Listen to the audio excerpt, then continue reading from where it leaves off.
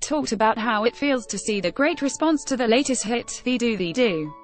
See also, Yang Hyun-suk candidly speaks about Blackpink, their success, and future plans on the June 28 episode of SBS's radio show, Boom Boom Power. Blackpink appeared as guests. Their MV4, DDU-DU DDU-DU, recently set a record for K-pop girl groups when it reached 100 million views in just over 10 days since its release. It's also been topping music charts in Korea and it achieved the highest ranking for a K-pop girl group on Billboard's top song chart, the Hot 100. Soompi. Display, News. English .300x250, BTF Soompi.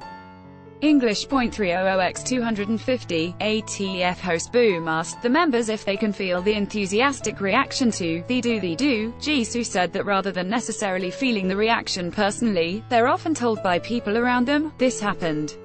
Did you see? She explained, it makes us go, whoa. I can't believe it. Boom brought up the amazing number of views on their MV4, DDU-DU DDU-DU, which is now 114.9 million. Jennie said, I don't believe it. It's such a big number, so it doesn't feel real. I particularly couldn't believe that it reached 100 million views in 10 days.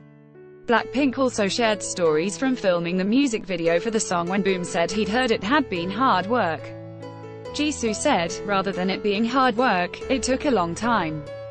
It was tiring because there were different sets for each part and person.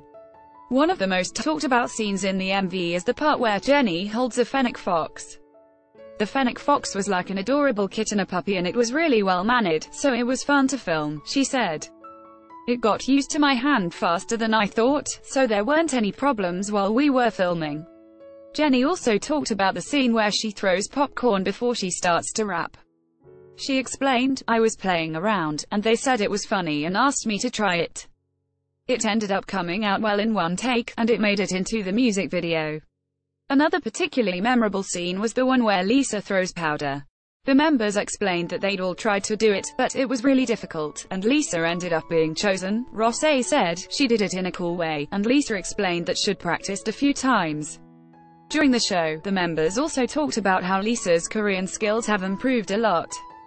Rosé said, when something surprising happens, I thought that Lisa would react in Thai, but she naturally says things like, oh, I'm surprised, or, oh my gosh, in Korean. She'll even call her mother, mom, in Korean on the phone. Most recently, Blackpink earned their third music show trophy for DDU-DU DDU-DU on M Countdown and Swept Gaon's charts. Source 1